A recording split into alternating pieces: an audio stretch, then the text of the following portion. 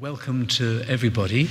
Um, it's a particular pleasure for me to introduce this evening my friend and colleague Brian Hurwitz, who's going to give us a talk to accompany this magnificent exhibition, which um, Brian organized alongside Brandon High and Katie Sambrook, um, and which will run until December the 16th. And um, Brian is the D'Oyly Carte Professor of Medicine and the Arts here at King's. Um, he's also a phenomenon when it comes to um, anything connected with Parkinson and his world. No one knows more about it than Brian. Um, I can assure you we're in for a real treat this evening. Um, this is the fruit of many years' labour. Um, the format of this evening will be that Brian will talk um, for about three quarters of an hour. There'll then be a chance to ask questions, make comments, and um, you can then also have a look at this magnificent exhibition um, of Parkinsoniana. And um, we hope you'll join us for a drink afterwards downstairs.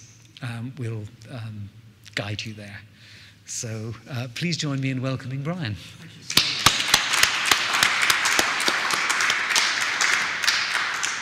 Thank you, thank you very much indeed for that introduction, Neil. Um, my talk will focus on what today is considered James Parkinson's most significant work, his essay on the shaking palsy. It's the centerpiece of this exhibition, curated by Brandon High from Special Collections and myself to mark the 200th anniversary of its publication. And I'm very grateful to the staff of Special Collections at King's who've assisted in every way in putting the exhibition together. The essay reformulated an array of disorders of human movements as a single disease, drawing on indoor and outdoor observations in clinical and urban case descriptions. Parkinson characterized particular types of shaking and disorders of posture and gait and fused them together in an affecting generic account. I'll outline the essay and consider how he came to redefine what was then a little known medical condition. As soon as the essay appeared, it gained wide notice.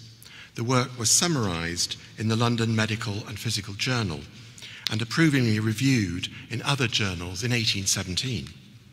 It was praised by John Cooke, physician to the London Hospital, in his treatise on nervous diseases of 1820, and quoted verbatim and unacknowledged in Thomas Graham's Modern Domestic Medicine in 1827, which spoke directly to the public. It was cited in the Lancet by John Elliotson of St Thomas's Hospital in 1830, Marshall Hall of the Webb Street uh, Anatomy Theatre in Southwark in 1838, and by the Scottish physician William Sanders in the Edinburgh Medical Journal of 1865, who was the first person to coin the term Parkinson's disease.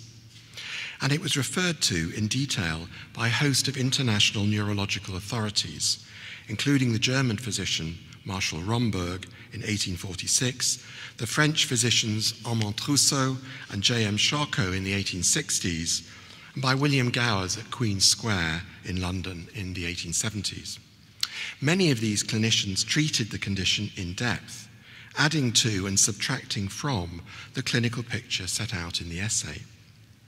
Despite this acclaim, compared with some of Parkinson's other works, which in his lifetime notched up multiple reprintings, his Chemical Pocketbook 4 and Domestic Medicine 5 editions, the essay remained hard to get hold of throughout the whole of the 19th century and was not reprinted until well into the 20th.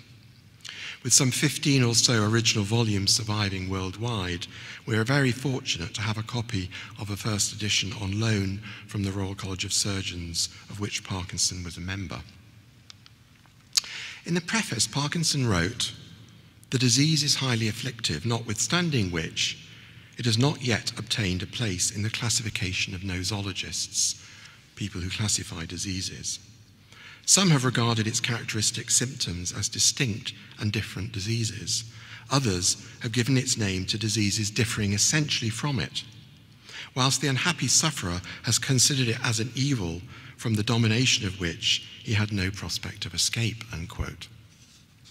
Given the severity of the malady, it surprised him that it remained hardly recognized. In the preface, he alerted readers to a terminological entanglement that arose from some of its symptoms having been described previously but understood differently, whilst the term shaking palsy had been deployed both in the vernacular and medical discourse, actually for hundreds of years, going back to the 16th century, to designate conditions quite different from that identified in the essay. The disease is of long duration, he continued. To connect, therefore, the symptoms which occur in its later stages with those which mark its commencement requires a continuance of observation even for years, unquote. As we will see, the essay encompasses momentary street noticings and periods of clinical observation spanning over a decade. But before we consider his act of synthesis, which I think the essay is, in more detail, let me say a few words about its author. James Parkinson was born on April 11, 1755, April the 11th now being World Parkinson's Day. He was born at 1 Hoxton Square, Shoreditch, then a semi rural village just beyond the reaches of the City of London. The second of four generations of apothecaries who worked from the same premises, the Parkinson household stood on the southwestern corner with a view across the square. It was surrounded by orchards and market gardens, with open fields and farms to the north. A 1778 history of the parish describing it as, quote, pleasantly situated, of a figure of a parallelogram whose area is above an acre and a half, the residence of nonconformists and other divines, unquote. And this is a map of um, 1792, so when Parkinson was about 36, 37. And you can see um, this is Hoxton Square, which was actually laid out in the 17th century. Uh, number one is where Parkinson lived, just on the corner here. This is Hoxton Market, and you can see the amount of land uh, and the farms uh, that are dotted all around Hemlock Barn in the far north. So that's 1792, the directory map. But if you look at the map of, part of this area when Parkinson died in the 1820s, you can see how urbanized it, it had already become. And in fact, the whole area was really a massive building site for 150 years as Hoxton and Shoreditch and Bethnal Green uh, grew up in uh, density. Here again is Hoxton Square. Uh, there's the marketplace. Um, this is St Leonard's Church, which is a big interchange um, between the Kingsland Road, Old Street Road, and um, the, the Hackney Road. So it's a very important interchange. It's a medieval church, although it was rebuilt, in the, rebuilt on a number of occasions, but rebuilt in the 18th century. And the, uh, the, the, picture I showed at the beginning um, was uh, of the rebuild of the church, the intersection Interestingly, there's actually a surgeon apothecary shop on the corner there. It's not Parkinson's residence, but it just gives you a feel for the locality. This is a steel engraving of 1800. And also an interest, just a sense of the different postures, the different gaits, the stoops, um, uh, the lugging, the pulling that you see in this uh, area.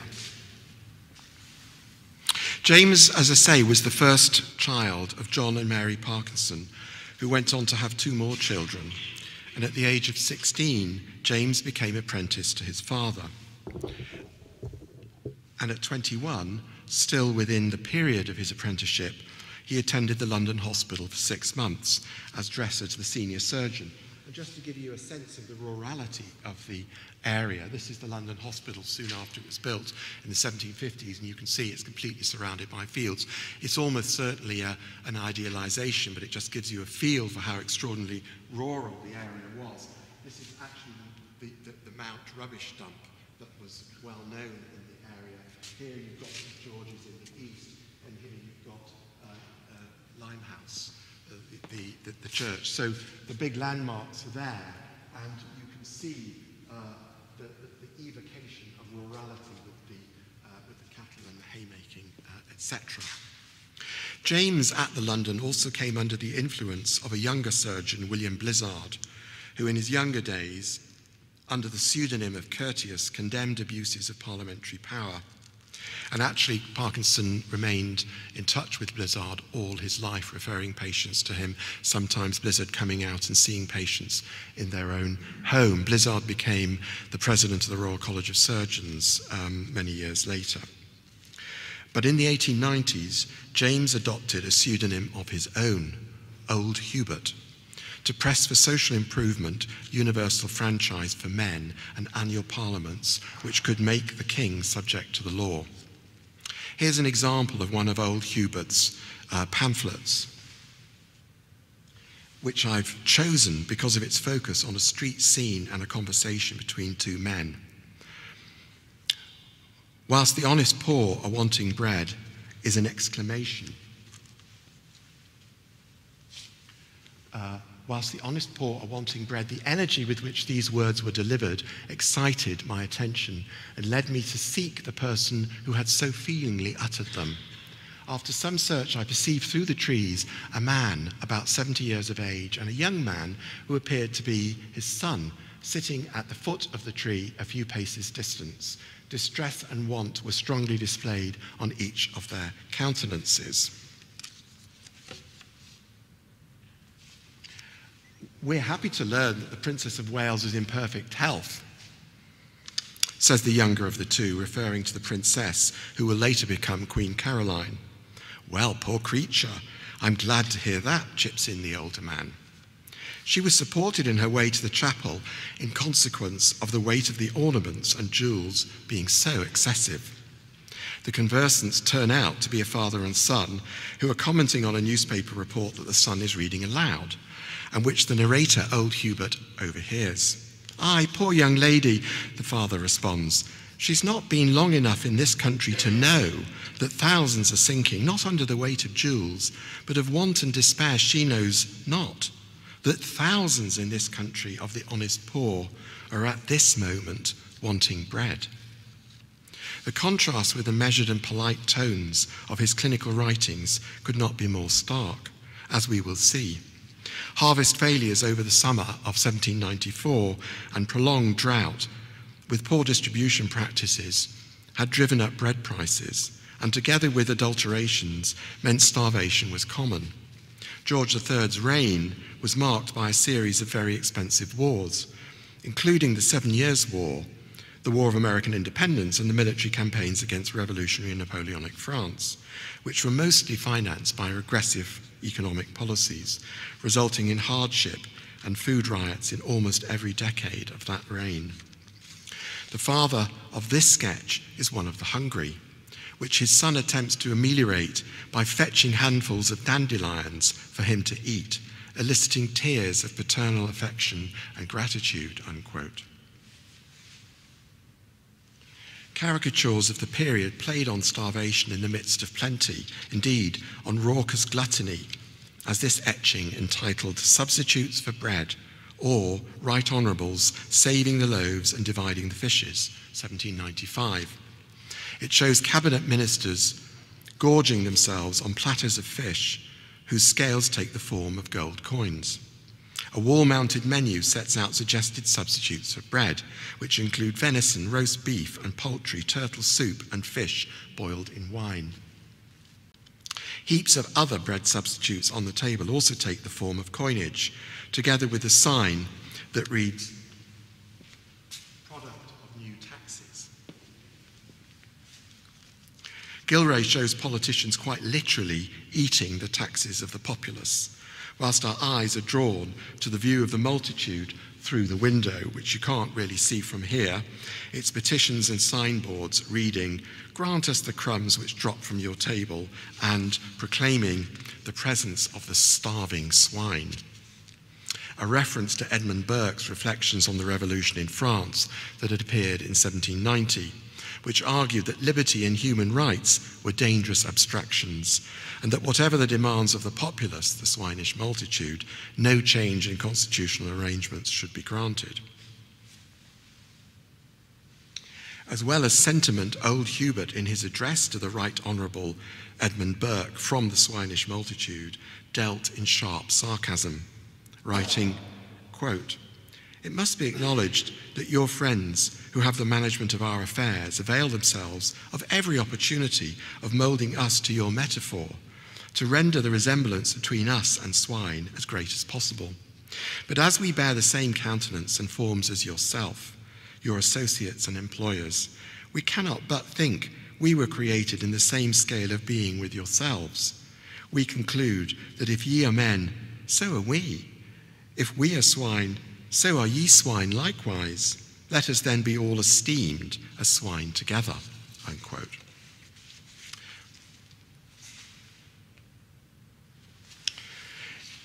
In the early 1790s, James joined the Freedom and Ease Masonic Lodge. Founded in the 1750s and until then meeting in central London, including at the Strand, not far from here, its meetings uh, moved in 1790 to the Three Jolly Butchers in Hoxton.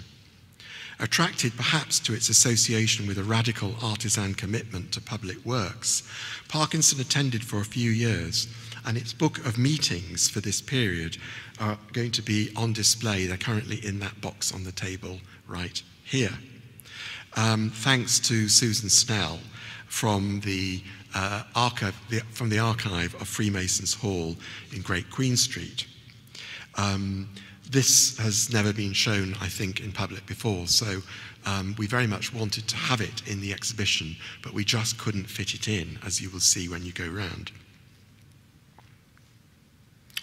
In the same period, in fact, pretty much simultaneous with him joining the Freemasons, he joined the Society for Constitutional Information, which had been created during the American War of Independence, which published political tracts promoting parliamentary reform and opposing the slave trade. Rarely more than 100 members strong, he soon joined the London Corresponding Society, which through correspondence worked in association with other such regional societies to promote reform. In fact, the London Corresponding Society was extremely active in lobbying uh, members of parliament, lords, uh, various people in uh, um, positions of authority with their views about the importance of parliamentary reform. Predominantly artisan, its most populous occupations were shoemakers, weavers, mechanics, and tailors, including a handful of lawyers and doctors. At its height, it numbered three to 5,000 members and campaigned for annual parliaments, universal manhood suffrage, taxes graduated by wealth, and a greater say for ordinary people in how the country was run.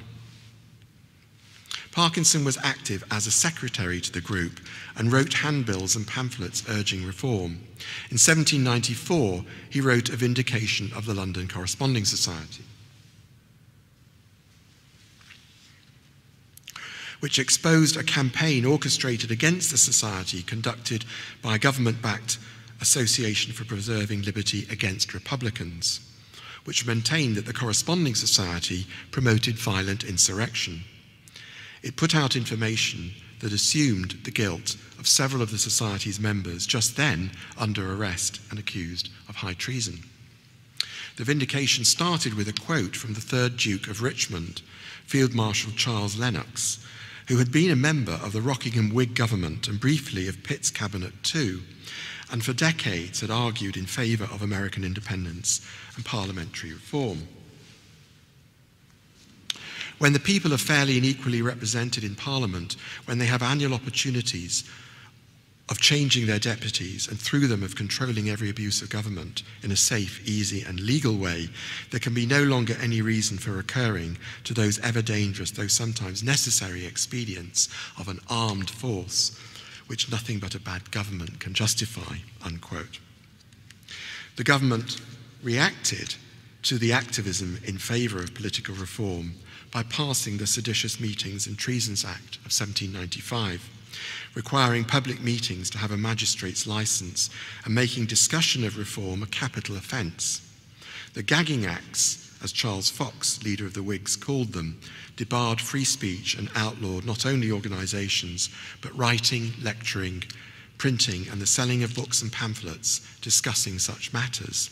It suspended habeas corpus, rounded up and imprisoned hundreds of people, some for as long as three years without trial, and expanded the spying service on the domestic population. This is the context in which old Hubert identified with the downtrodden. In 1796, he volunteered to testify to a committee of the Privy Council, so he wasn't under trial, about an alleged conspiracy of treason known as the Popgun Plot. The government had claimed five members of the Corresponding Society, Parkinson not included, had planned to assassinate George III using an air gun loaded with a poisoned dart. He was interrogated by Pitt, the Prime Minister, and by the Attorney General, during which he admitted to being the author of the vindication and also to revolutions without bloodshed. And it's very interesting, actually, in his account of waiting to be interrogated by the Privy Council, he sees a member of, a former member of the London Corresponding Society called Upton, who was probably a spy for the government, who had actually um, uh, uh, plotted the, um, the, Popgun plot. He had actually conspired to uh, frame a, a, number of the um, members of the corresponding society, he sees Upton going in and out of various uh, doors in the Houses of Parliament. However, Parkinson held his ground in refusing to answer questions that might have appeared to incriminated him, uh, even after being warned by his interrogators that he actually stood before the highest court in the land. Revolutions without bloodshed uh, is um, the, uh, the, the, the corresponding society's response to some of this. Notice, without bloodshed. Um, and uh, it's um, typical. It's a very simple handbill. It's got a number of resolutions. It having been industriously asserted that the happiness and prosperity of the people would not be at all increased by a reform of the representation, it has been thought proper to publish the following enumeration of those changes, which in all probability might, thereby, might be thereby pro pro produced. One, the claims of the people might be more duly attended to and the rights restored. Two, taxes might be proportioned to the abilities of those on whom they are levied and not made to fall on the poor, more on the poor than on the rich. The present system of excising almost all the necessaries of life, such as soap, candles, starch, beer, etc., etc., might be abolished. And it ends, and this is a typical kind of flourish, it ends with um, an accusation that of the 513 members of parliament, 306 had actually been appointed by the Treasury and by various forms of private patronage. And then you get this sort of traitors, traitors, traitors. So um, and Parkinson's use, and particularly the Corresponding Society's use of typography in this period, is an interesting facet of this. All those accused of the popgun plot were eventually acquitted. But had the findings been otherwise, government agents would have plucked Parkinson from his practice, and the essay may never have been written. By the time the essay did appear in 1817, Parkinson was an accomplished author who had, in addition to his political works, published on gout, public health, madhouses, medical education, children's stories, fossils, and geological strata. He had been one of the founders of the Geological Society of London and was better known for his three volume work, Organic Remains of a Former World, and for his extraordinary collection of fossils, reputed to be one of the largest and the best in Europe, than he was for his medical achievements. And just to give you a, a, a, a, taster of his interest in fossils. First of all, we have in the middle um, display cabinet some of the fossils from his original collection, which now belong to the uh, Natural History Museum, uh, which we're really thrilled about. Um, but the organic remains of a former world, uh, the historian Martin Rudwick refers to it as the first comprehensive compilation of the fossils of England. It's a stupendous three volume work. Each one cost about three guineas. This is the frontispiece for volume two, and that sponge there um, is actually in the cabinet, so you can see the relationship between the real object and its depiction. Many of the illustrations in these volumes were hand coloured by James's daughter, uh, Emma. Um, and this is volume two.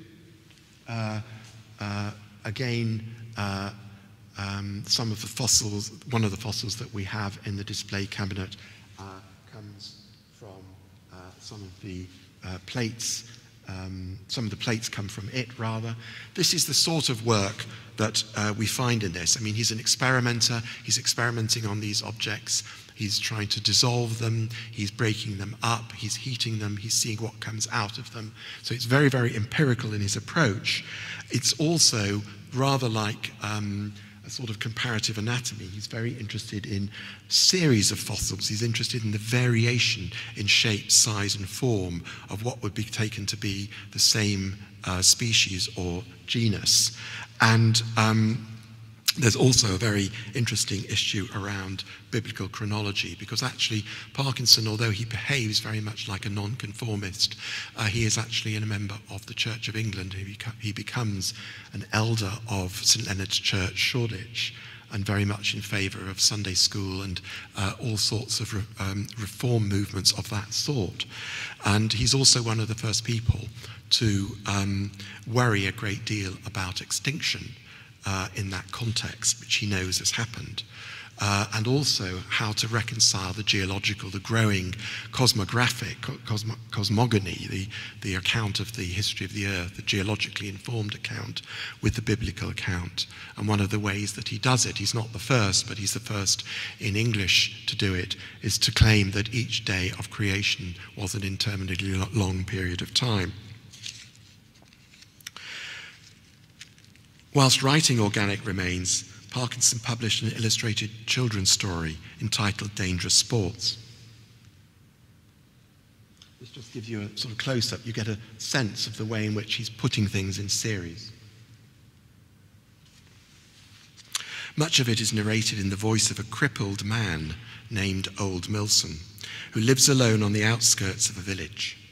On a cold winter's night, Milson hears moans and groans coming from outside, and on investigating, finds a little boy weltering in blood, unquote, semi conscious in the snow. Too disabled himself to pick him up, he drags the boy back to his house, where the warmth revives him.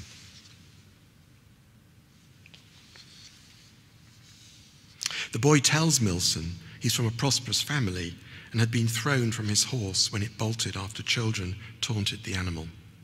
It takes several days to tend to him back to tend him back to health, after which Milson reunites him with his family. And this is an image of the children taunting the horse, and this is the boy falling off, either his hat coming off separately or in fact part of the taunting are the children throwing hats at the horse. It's not quite clear. The grateful boy George invites old Milson to his next birthday party. Milson, um, when, whom the narrator calls, quotes, benevolence on crutches, unquotes, turns out to be a cross between a mentor and a magician, entertaining the children uh, of the party to stories of a moral, sentimental, and Gothic kind. During one telling, the party hears a loud groan, and the children jump up, jump up and crowd together. Well, well, said Joe, trembling like an aspen leaf. It, it comes from the vault under the ruins of the old castle. Tis the devil. All eyes were fixed in dreadful suspense and alarm on the door when it flew open, and on Radcliffe whose enchanting pages have so bewitched the public taste that every press now teems with mystery and horror. On Lewis, who hast fixed our admiration on bloodless, bleeding ghosts and created mysteries not to be unravelled. The blame lies for this wonderful and terrific tale. For who now dare write? For who now will read aught but what is filled with crashing and shrieking and bones and tombs and aerial beings? Why, my little reader, why in such a hurry? What did you hope to find there? Something shocking, sir. And why in such a hurry now? Because it is so shocking, sir. Then pray, my good fellow, what do you expect to come in at the door we've just opened? Why, a ghost, to be sure, sir. Well, then, you shall not be disappointed. The door flew open, and whilst all eyes were fixed on the spot, I shiver whilst I write it, and not as you may think, from the cold and wind that blows in at the shattered window of my lofty garret. No, it is not from cold, it's sheer fright at my own writing, for I feel my hair standing on, up on end. Well, Mr. Author, don't talk about yourself so. Pray, go on. Well, then, now for it. There follow stories of purpose that focus on the risks of fighting, playing with penknives, taunting animals, climbing trees, warming oneself at the fire, entering rivers unable to swim, cautioning young readers of the dangers of such behavior, and illustrated with simple primitivist wood engravings. The book was reprinted in the USA, and the wisdom of old Milson still featured 10 years after Parkinson's death in formal manuals advising the public of the risks of accidents and how to avoid them. This is um, a young, uh, another wood engraving of a young woman who's caught fire by warming herself in front of the fire. And you can't see it very well in this light, but she's using a rug or a mat to smoulder the fire. And um, in books that there was a craze for books to try and uh, advise people of the accident, of the risks and dangers of certain kinds of behaviours and accidents. And this particular one went into several editions uh, in the 1830s. And in 1834, it is referring to um, the advice of old Milson never to go into the water until you've learned to swim, referring here to the excellent little tale by Mr. Parkinson. Well, let's get to what we're really meant to be talking about tonight the essay on the shaking palsy, 1817, published um, in London. Um, I'll say a few words about the uh, structure. It's a short, as you will see when you see the, the, the, the text, it's quite a slim volume. It's about 60 pages long, about 12,000 words. Um, it's divided into five chapters, and there won't be time to go into each chapter. So it starts with a definition and it moves on to then what are called pathognomonic symptoms, symptoms of the condition that are thought to be necessary, um, absolutely necessary for the diagnosis. And I'll come back to those terms in a minute. Um, then how you distinguish it from other forms of shaking, what the causes are, uh, and also actually treatments, uh, with some more cases, and considerations concerning the means of cure. Um, Tremor coactus is actually an ancient term. Uh, it comes originally from Galen, and it refers to uh, an involuntary form of um, shaking, uh, shaking that um, uh, sh- shaking of a particular sort. Uh, often referred to as actually a palpitation. People talked about palpitation of the, of the limbs or trembling of the limbs uh, as much as they talked about tremor, at least in English. And scelotyrbe festinans is a, uh, a Byzantine term, it's a later term, for a particular kind of tottering gait. Uh, and these were terms that were used uh, in the medical literature uh, in the period. And when Parkinson uh, defines the condition, he says it's an involuntary tremulous motion with lessened voluntary power in parts, not in action, and even when supported with a propensity to bend the trunk forwards and to pass from a walking to a running pace, the senses and intellects being uninjured. And if you translate that into the two Latin terms that we were uh, talking about, this is really effectively what tremor coactus amounted to uh, in the late 18th century.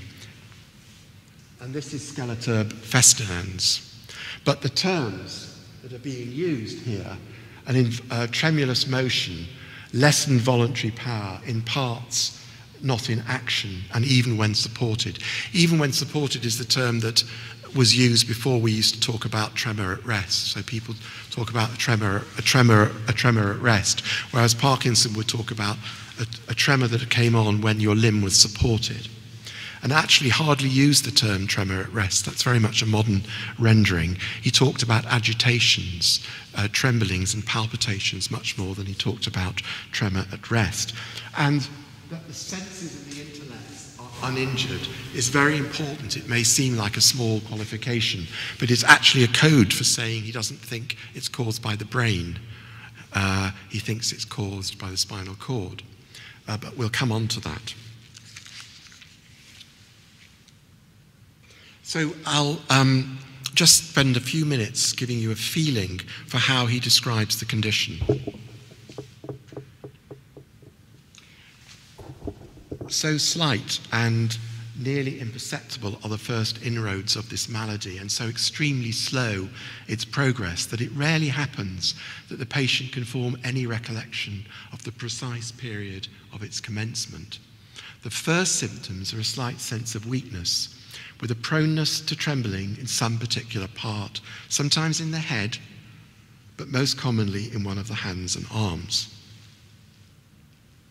As the disease proceeds, the hand fails to answer with exactness to the dictates of the will. The legs are not raised to that height or promptitude which the will directs.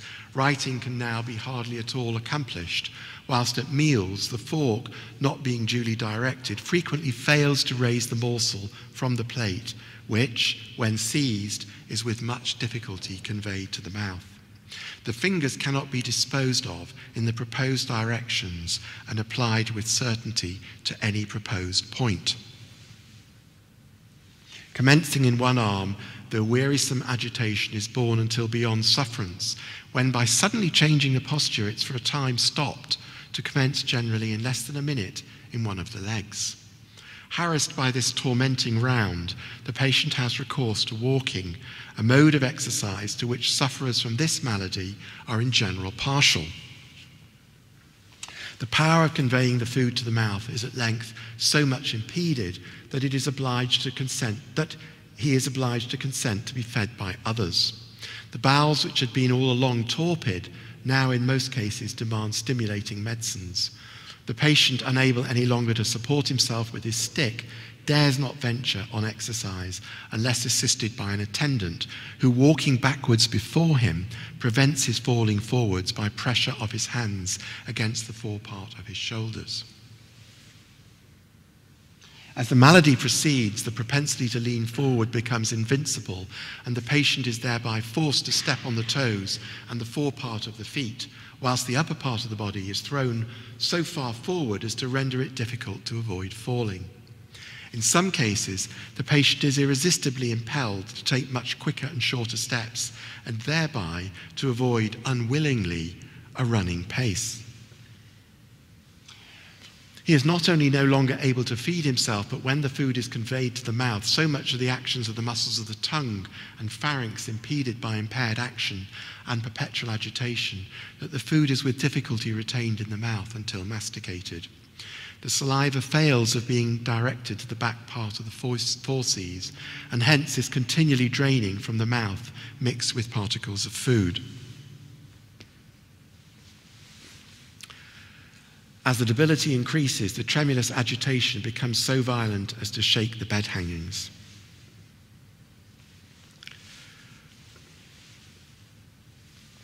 The chin is now almost immovably bent down upon the sternum. The slops with which he is attempted to be fed with the saliva are continually trickling from the mouth.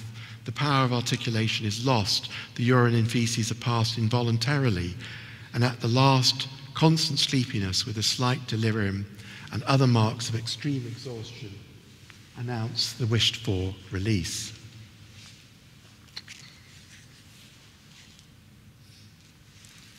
The contrast between the indistinctness of the malady's onset and the distinctiveness of its subsequent features is drawn out in an account of great clarity and pathos. Within a trajectory of deterioration, Parkinson takes great care to delineate the sequence pace, and severity of bodily changes. The succession of limb involvements, how tremor, weakness, and fatigue unfold spatiotemporally is visualized, not only through careful description of bodily effects, but existentially through the use of passive, ter- passive turns of phrase, evoking the march of a malady. The hand fails, the legs are not raised. The fork fails, the saliva fails, the chin is bent down, Fingers cannot be disposed of in the proposed directions and applied with certainty. Submission of the limbs to the dictator of the will can hardly ever be accomplished or obtained. The patient is irresistibly impelled and obliged to, be, to consent to be fed by others. Although the sufferer in the history is of a generic status, by focusing down on particulars, the smallest gestures of everyday life, as well as on attempts to adapt to bodily difficulties of standing, sitting, and walking, on frustrations and impulsions. By, this, by these means, the abstract sufferer convincingly attains a sense of presence. Some modes of 18th century science intermingled sensibility and empiricism in ways that acknowledged that acknowledged a sort of felt responsiveness on the part of scientists towards their objects of inquiry. A responsiveness which generated observations not from sensory experience alone, but from a combination of sensation, sentiment, and a certain amount of identification with and imagination about the object of interest. Parkinson's way of looking, I believe, was not that of a spectator disconnected from the objects of his interest or subordinated to the taxonomic and voyeuristic drives of what Walter Benjamin would later characterize in a different context as botanizing on asphalt, but rooted in urban practice. Take the fifth case. Um, in, the, in, the, in the case series, which follows the history the, lament- the lamentable subject of which was seen only at a distance, immobile and unable to move, supported by his attendant, who, standing before him with a hand on each shoulder, until by gently swaying backward and forward, the patient had placed himself in equipoise when, giving the word, he would start, that is, the, the attendant would start in a running pace sliding from before him and running forward, being ready to receive him and prevent his falling. The deftness with which the scene is encapsulated, the pair rocking cooperatively to and fro until the man presumably was at 45 degrees and would fall forwards, is very striking. The sixth case, Parkinson introduced as one which presented itself to observation since those above mentioned, unquote, implying he was observed with the benefit of hindsight gained from the earlier cases. Textually much longer, this case charts a sequence of symptoms in a man over a 12 year period. The effects of the malady on the sufferer's life are contextualized with the patient's views about its vexations and causation. His bowels, we learn, were much retarded, a problem Parkinson thought common to many sufferers, and he noticed the man's trembling temporarily disappeared following a stroke, only to return again as one side bodily of one-sided as one-sided bodily paralysis resolved. Parkinson twice noticed the sufferer's capacity to suspend the agitations by an act of will.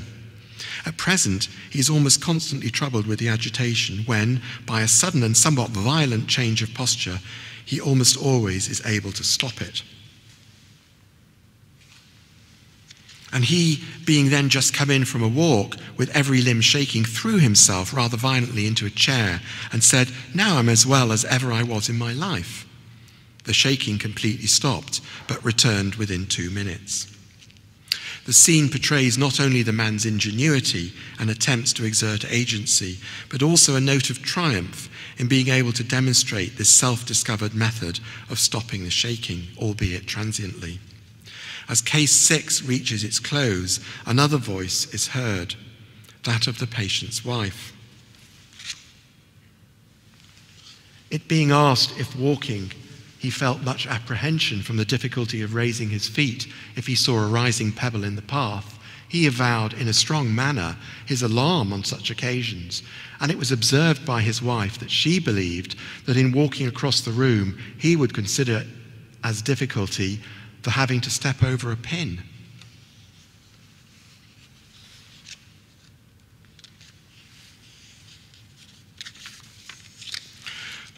Parkinson's conversation and interviewing was not only able to call, call, forth informative responses from patient and carer in confirming the patient's fear of falling, apprehension at the prospect of stepping over small objects, a rising pebble in the path, Parkinson brings to the fore the man's psychological as well as physical vulnerability. The respectful relationship among, among those present is apparent. The report accommodates several viewpoints the doctor's keen understanding and desire to learn more, the patient's subjective experience and vulnerability, and the wife's insightful observation of her husband's condition.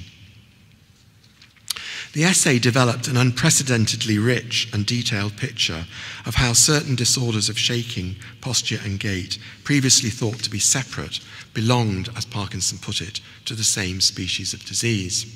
The novelty of his formulation lay in interlocking hitherto known dismobilities into a new compound clinical ensemble with a long trajectory which is compactly recounted in a narrative. Although he insisted on using the vernacular English name for the malady, it was Parkinson who invented the term paralysis agitans, which conferred a new sense of rea- reality on it with a new referent offering new possibilities for placing it within disease classifications. Unfortunately, the term gave rise to many disputes, the turns and twists of which are traced in the exhibition. So, to conclude, the author of the essay commanded a wide range of written repertoires and communicative registers, not all of which it's been possible to explore in this talk. In his scientific writings, Parkinson could equally well adopt a third person perspective and a highly descriptive style as conversational and epistolary registers. In his children's stories, he deployed techniques from Gothic and sentimental fiction in racy and echoey forms of narration that work not only as self contained modes of aesthetic entertainment, but as interventions in social and child rearing practices that develop what today we might call teachable moments for a, te- for a teenage audience. He was a socially engaged apothecary surgeon, steeped in the print culture of his day. In advice manuals and educational admonitions addressed to the public, he used novelistic techniques discernible too in his political writings, which give full rein to his solidarity with the poor and the powerless. He seems to have had a creative and fluent mind and was, and was determined to improve the lot of the disadvantaged, whether arising from disease or from being downtrodden. King's has rich holdings of his works because he joined the Guy's Physical Society as an honorary member in 1786. This was the first medical society in London, founded in 1771, and it met weekly to talk about cases and medical matters of the day. It built up an impressive library as many of its members donated their publications to the society whose library is now housed here in special collections. And of course, these have been augmented by loans from uh, libraries and museums across London, but also in Cambridge and in Paris, and tonight from the Freemasons uh, archive too. The layout here is roughly chronological as follows. So the first two cases, it moves from left to right. The first two cases cover Parkinson's education, his professional formation, and his interests in um, medical education and public education. The cases three and four are about his locality in Hoxton Square, Kingsland Road, and Whitechapel, and his political activities of the 1790s. Case five in the middle um, is the geology, which shows the fossils from his own collection on loan from the Natural History Museum. Uh, two from the organic remains and a spectacular ammonite whose genus is now called Parkinsonia. It's very unusual to have a whole genus of species of, fossils to be named after you. And Parkinson also has a, a, a zone, a, geological zone. I think it's a sediment zone called uh, Zona Parkinsonii, named after him. Um, important 17th and 18th century precursor texts to the essay and to his consideration are in case 6, and in case 7 and 8, the essay itself, a first edition, and its afterlife in the works of Trousseau, Charcot, and Gowers. And in the final case, case 9, which completes the exhibition, the essay's legacy in the 20th century, including texts that addressed an audience beyond, but not excluding, the medical. So please have a look at the exhibition at your leisure, and then we can amble down for drinks whenever it suits you. Thank you very much.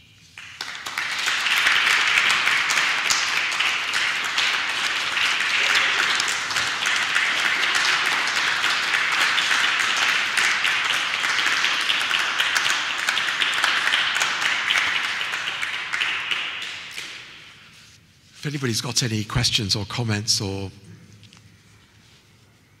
concerns, please. Yes.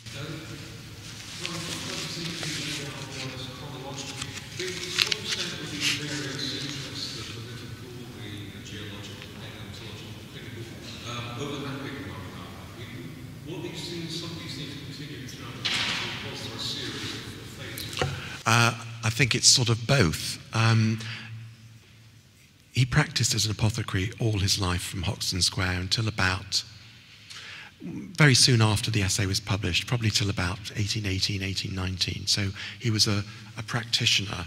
Um, he practiced first of all with his father and then with his son and both he and his father and he and his son published papers together. And that wasn't necessarily that unusual for apothecaries. So that he, so his clinical work continued throughout his life. That's the first thing. Um, it is thought that he attended John Hunter's lectures um, in the 1780s, is it, or 1770s? 1780s, he attends John Hunter's lectures after he's qualified uh, in his premises in Leicester Square. And in fact, um, the very first record of his interest in shaking disorders is from the period when he um, notices a patient that John Hunter is presenting who's got what he calls a universal palsy, so she's shaking all over. Um, but he's also interested in John Hunter's fossils, which he sees at that time. And probably he becomes interested in fossils soon uh, after that period, although it's not absolutely clear. Um, so his political work is definitely gaining pace in the 1780s and 90s. His work in the Corresponding Society and all the radical publications, probably about 20 in all, a lot of them in the British Library, um, are in the 1790s. And they tail off really at the end of the 1790s, possibly because of the pop gun plot, possibly because of all the treason acts, possibly because of his own interrogation. He appears in various trials at the Old Bailey as character witnesses for these uh, accused, including John Thelwall, but others as well, who are all acquitted of the charges. And it's really at the end of the 1790s that he turns towards medical education for medical students and public education about medicine for the wider populace, and also uh, collecting fossils. He has massive correspondence all over the world collecting fossils. A lot of people have accused him of actually, he has a, his geological um, texts are actually epistolary. Uh, they consist of letters. And the letters are very sort of personal to begin with. So he describes going out of London in his horse and chase with his daughter and with another interlocutor who isn't called Old Milson, he's called Old Wilton, who keeps, keeps asking questions about, you know, what you're seeing and what's this and what's that. And Parkinson's um, trying to answer and the daughter's chipping in. Uh, but also they get out and they stop and they say to you, you know, why are you collecting these stones? And collecting all sorts of stories. A lot of people say this is all fiction. He doesn't do any of this. He was far too busy in Hoxton Square. I don't think so. I think when you read that text, which of course is huge, um, certain kinds of um, phraseology in his approach to the objects and the landscape seem to me to come from um, a very sort of similarly literate, lively eye of an observer who was actually there. So his his interest in fossils really goes on from the late 1790s right to the very end of his life. His very last public, publication, uh, called um, A Study of Oryctology, The study of fossils, again, another huge volume, is in the 1820s. So a lot of these things are taking place simultaneously. There is a bit of you know, there's a bit of evolution, there's a bit of overlap, a lot of it's just going on all the time. I mean, extraordinary energy. It's just extraordinary how he could possibly have held it together, and he's publishing case reports um, at the same time, often quoting from the uh, philosophical transactions of the Royal Society, incredibly well read, has read Cuvier, um, uh, Lamarck, has read all the major natural historians, uh, is quoting Boerhaave and others in the original Latin, is translating them. It's entirely homeschooled. I mean, we don't know where he was educated, certainly didn't go to university. Um, so that's the sort of picture one gets from him, of him. Yes.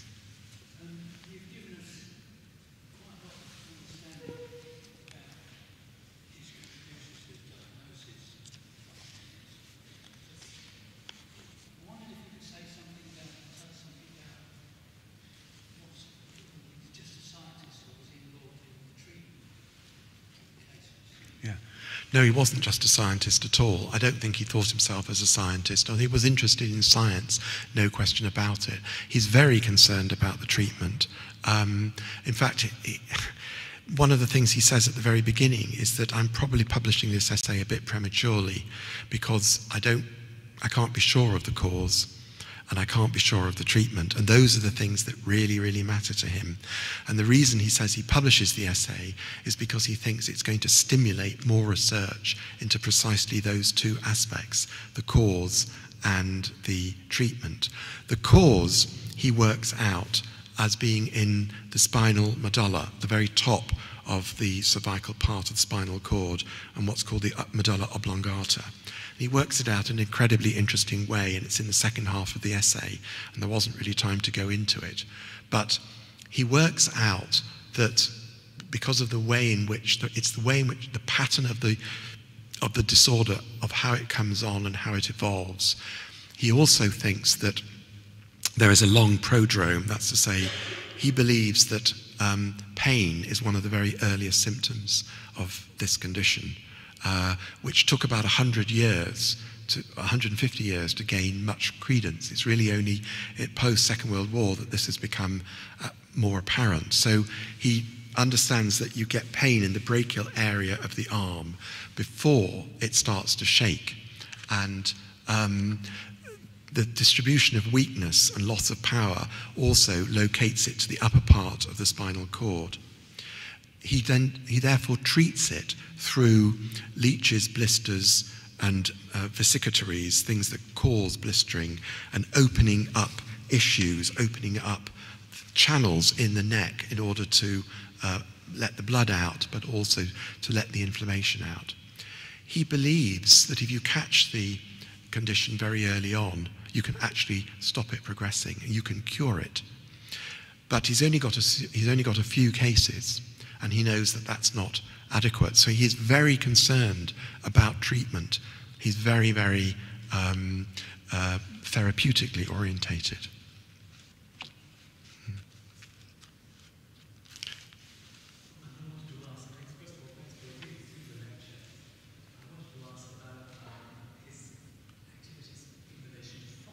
Mm.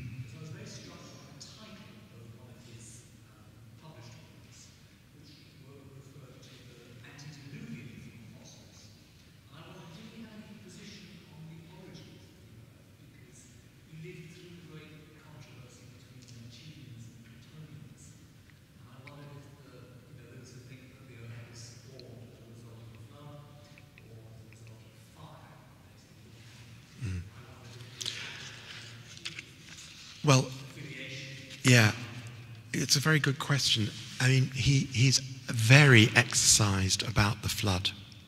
And one reason is because, um, first of all, he believes in extinction. So, um, so, so there's that. But one of the things that worries him a great deal is that at this period, that no human fossils have been found. So, um, he's very concerned that um, there's no evidence prior to the flood, no geological evidence prior to the flood of us. Um, and that's a terrible problem for him, and he has no answer for it. Uh, he does believe that the flood was a, was a, a God made event. Um, and in fact, volume one of Organic Remains starts off with um, a beautiful view through a sort of craggy opening at a beach with some fossils on the, on the beach and a boat in the distance, and over the boat there's a rainbow. And that's the first frontispiece to volume one of Organic Remains. So it has a very strong biblical framing. I don't think he actually goes into, I don't think he enters into the debate about how geologically um, the earth was formed. But he definitely believes in the flood and definitely believes that the flood was a God made event. But of course, everything has to have uh, a natural hist- historical explanation too. So he also believes, obviously, in Paley's um, sense of design within nature. and the, the, the, the, the what, you know, a thing that looks like a watch must have a watchmaker, that sort of approach. So a thing that looks like a flood has to have a, has to have a divine cause as far as he's concerned. He's sure the flood happened. He knows that the fossils that we're finding um, in northern climes uh, are also in southern climes. So, you know, he's also aware that there are continuities of geological strata. He's the first person uh, to show that the strata in northern France are almost, almost exactly the same as those in southern England. Um, and that's a very important, so there's also an issue around how did England become, a, Britain become an island. So he's very concerned with all those things. He's very um, keen to promote the importance of fossils as a way of dating strata and showing that strata that don't link up and are in different positions um, are, were once continuous because they have the same fossil composition. So he's got all those kinds of um, uh, conceptual tools at his disposal.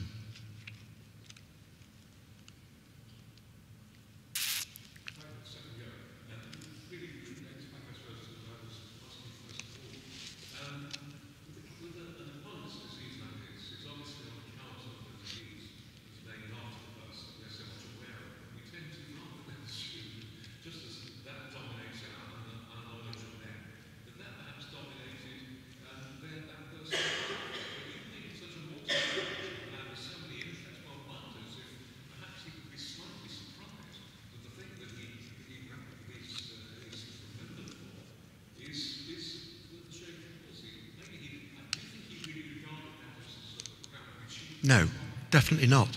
Definitely not. No. No. Uh, yeah, no, no, no, definitely not. But that's that's the nature of the way in which historical reputations wax and wane and change. I mean, let me give you an example of this. So, first of all, he's very apologetic about publishing the essay. He implies it's it's it's premature publication, and it's only because he sees how severe this condition is that he believes it's justified because he says his, his, his, his publication is full, is full of, of a particular form of speculation. By speculation, he doesn't mean just throwing things out randomly, he means he hasn't got the anatomico pathological evidence. He also brings in other people's published cases in great detail, trying to work out what the pathological cause is. But no, the essay definitely is, is a minor publication for James Parkinson, and I'll tell you, give you some strong evidence for why. First of all, in uh, the 1820s, he is the first recipient of the honorary gold medal of the Royal College of Surgeons. This is an extraordinary achievement. The, the, the medal had been struck at the very end of the um, of the 18th century, just before the college was formed, and they spent 20 years looking for a first recipient. Um, and Parkinson was you know, not a university educated person. He was an apothecary. He wasn't, uh, he wasn't a practicing consulting surgeon in that sense of the term in which, for example, Blizard uh, or his teachers at the London Hospital were. He wasn't a hospital based uh, um, physician or surgeon. Um, and the citation for that gold medal is a wonderful um, other talk, but it's essentially saying um, that you know we're we're a liberal-minded, pluralistic college. We believe in natural history. We believe in the importance of scientific information, and what we're doing in honouring James Parkinson is praising him for his fossil collection, for the, the largesse with which he allows people to visit and replies to correspondence about it. So he gets the honorary gold medal of the Royal College of Surgeons. It has nothing to do with the essay. So that's one bit of evidence. The second bit of evidence is that in uh, two, is, is in 1911, I think it's the 11th edition of the Encyclopedia Britannica, there's a very small entry about James Parkinson. It just says, um, James Parkinson, an English paleontologist who was also a medical practitioner who, um, who wrote Organic Remains of a Former World. Um, so, although it caused a great deal of interest in medical circles, it didn't really, the, the essay didn't really break out of this rather narrow range of 19th century medical preoccupation. That preoccupation is very interesting itself because there's huge amounts of disputes and um, uh, controversies around, you know, what is this condition, what's in it, what's outside it, what's its cause, right the way to the end of the 19th century. People like Trousseau, people like Charcot, people like Gowers believe very strongly that um, although it's an organic condition, it also has a very strong kind of uh, neurotic, traumatic um, um, origin, so shock the shock of hearing about the death of a child or hearing artillery fire uh, might bring it on. And that's partly connected with this idea that uh, psychological trauma ca ca causes us to shake. Uh, and a lot of the shaking on the streets of London in the 19th century were people who were being attacked or they were being accused of theft or something. Uh, and they start to shake. And this is very well shown in in, in, in lots of texts. Um, but also, um, the, there's, a, there's a lot of dispute about, um, uh, first of all, has it really got, is there, is there really true paralysis in paralysis agitans? And a lot of people said, well, no, there isn't. It's a silly name. But actually, it wasn't a silly name because um, the funny thing is, it was a transliteration of Parkinson's into Latin of the word palsy. And there was um, basically no Latin. The word palsy comes down in a different root. And so he knew there was no, there was no Latin for palsy. So he wanted a Latinate name.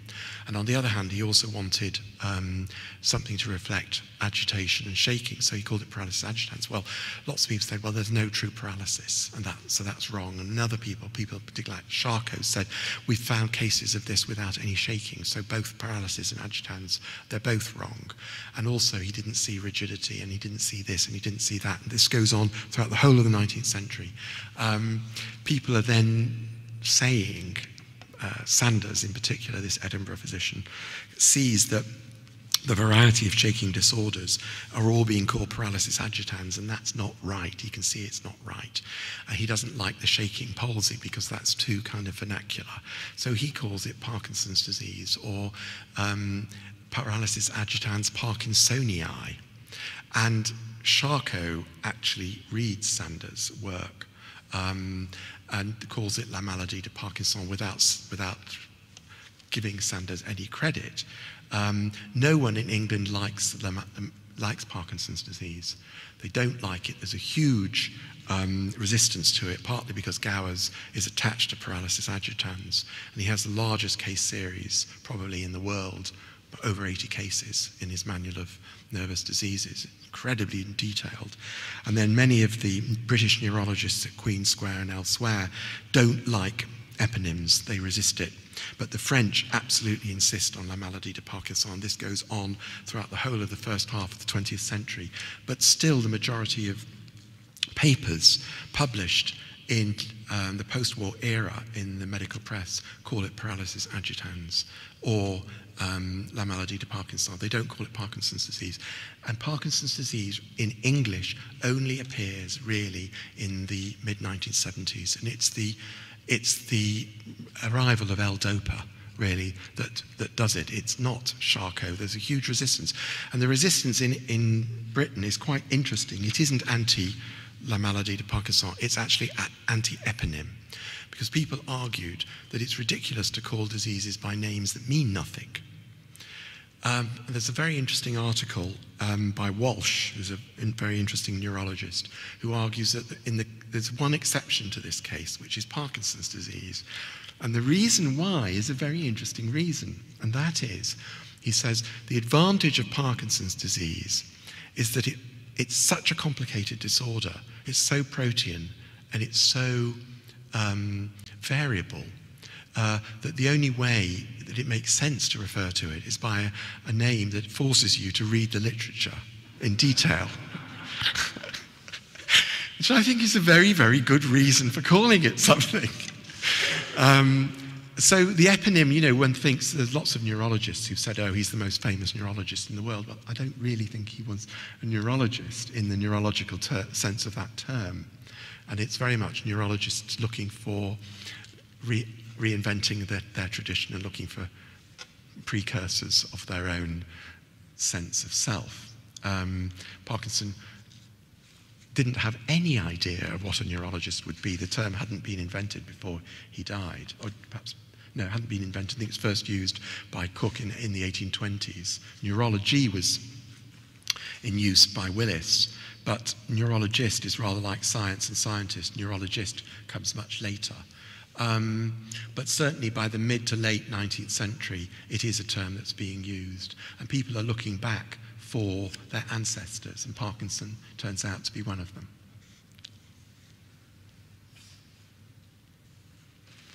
So, thank you very much. Please have a look at the, um, at the exhibition and please have a drink downstairs sometime.